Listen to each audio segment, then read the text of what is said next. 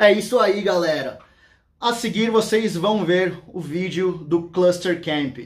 Para quem não acompanhou meus stories aí alguns tempos atrás, foi um evento organizado pela Cluster Moto de Brasília e aconteceu na Chapada dos Veadeiros, cara.